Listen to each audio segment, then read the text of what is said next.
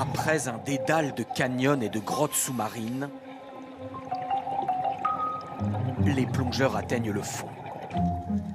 Émergeant du plateau de sable, des formes fantomatiques de carcasses.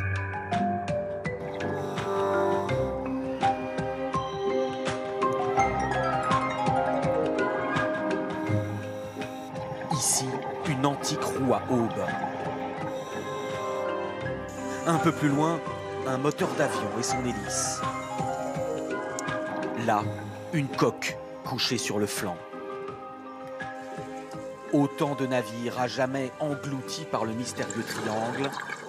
Les Bermudes sont l'une des plus fantastiques concentrations d'épaves de tous les océans du globe.